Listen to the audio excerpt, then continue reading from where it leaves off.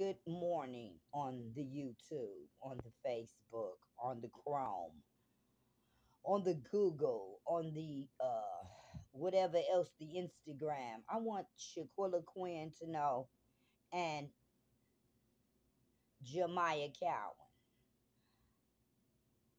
Personally, I wish I had never met you all because you all have made my life a living hell with your lying little black asses. Talking about I child abused your daughter. She self inflicted, wounded herself, beating herself in the bathroom.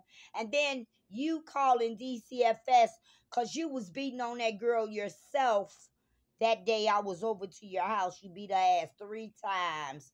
Every day I was there, Shaquilla Quinn. So if anybody has been child abusing your daughter, bitch, it was you. Cause I didn't fuck with the little girl. Cause she's so ill mannered, it's unbelievable. She's so fast and womanish, it's unbelievable. Cause you're not teaching her anything. She's so damn grown. She's in all of the grown people's conversations. She's 12 years old, knowing what a lesbian is, knowing what lesbians do, watching porno movies.